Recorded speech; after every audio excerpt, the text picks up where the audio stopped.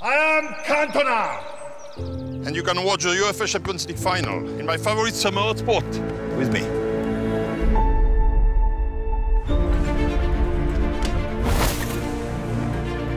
Sorry.